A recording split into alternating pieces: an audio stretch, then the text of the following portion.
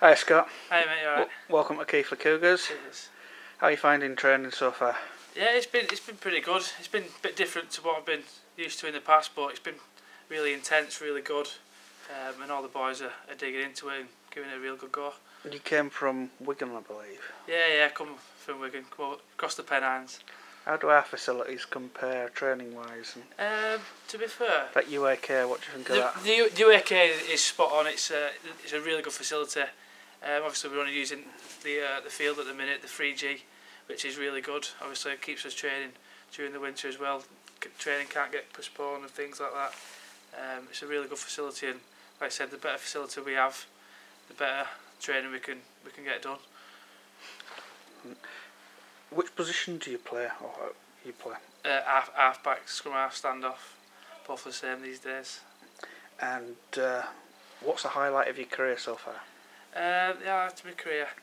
When when I was a junior, I represented England as a junior and captain the side. That was a, a real big one for me. Um, but also last year, I got the chance to play in Sean Loughlin's testimonial at the DW, so that was a bit a pretty good moment for me. Did you win?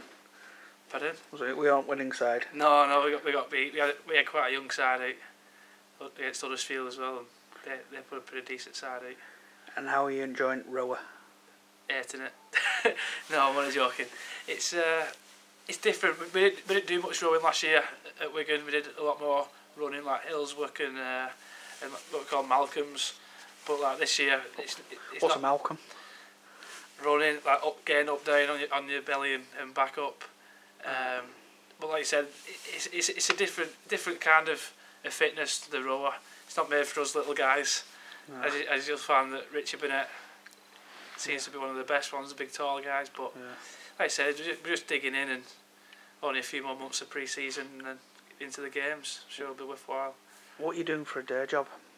I'm currently working for the foundation down at, at You're going to be working at Cougars. Yeah, work, working at Cougar Park. Um, working for the foundation, going to schools, doing some coaching with the Uh, kids. is that with uh, Rolo? Yeah, well, Rollo, Rollo does the um, the sporting chants.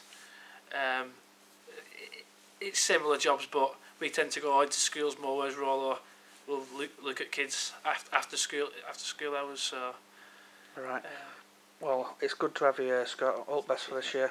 Cheers, have a good season. thanks. you. Cheers.